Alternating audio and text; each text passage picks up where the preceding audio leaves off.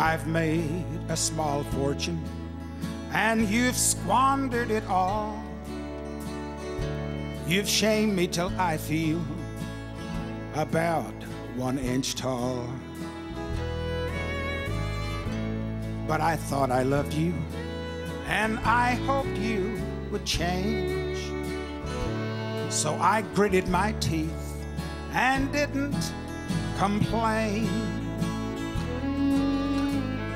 Now you come to me with a simple goodbye. You tell me you're leaving, but you won't tell me why.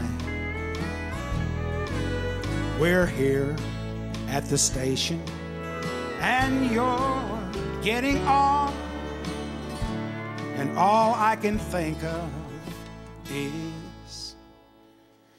thank God in Greyhound you're gone.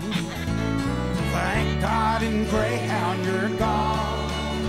And that load on my mind got lighter when you got on.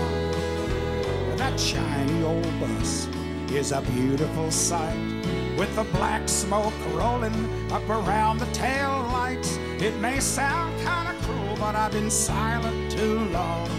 Thank God in Greyhound you're gone. One more time.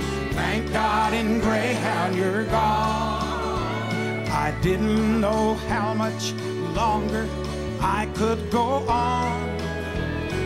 Watching you take the respect out of me. Watching you make a total wreck out of me. That big diesel motor is a playing my song.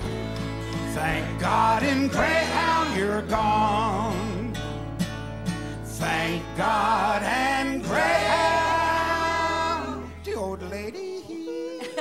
mean old Slim Whitman, huh? You're gone.